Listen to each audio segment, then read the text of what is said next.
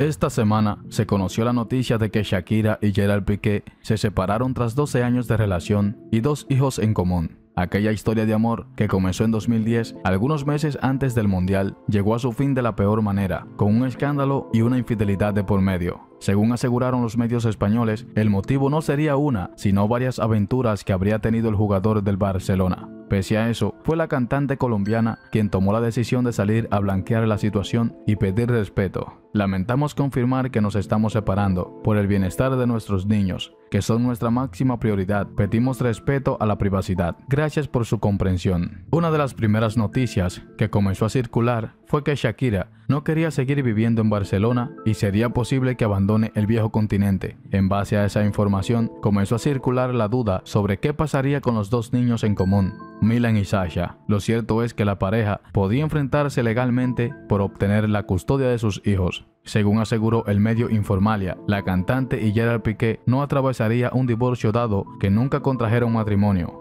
pero sí se enfrentarían por la división de bienes y lo que respecta a los menores de 9 y 7 años. Piqué se niega a separarse de sus hijos y alude a que los niños nacieron en Barcelona, aquí se han criado y aquí tienen su colegio y sus amigos, expresó el mencionado medio, dando a entender que el futbolista no daría el brazo a torcer tan fácilmente para que Shakira deje la ciudad con sus hijos. Por lo pronto, se sabe que el deportista de 35 años ya habría dejado el hogar que compartían como familia y estaría viviendo en su departamento de soltero. Además, algunos medios aseguran que está saliendo mucho con sus amigos y viviendo a pleno la soltería. Desde el lado de Shakira, pese a que ella aseguró que fue vista en una ambulancia por un problema con su papá, algunos portales confirmaron que sufrió una crisis de nervios en medio de la separación y tuvo que ser asistida médicamente.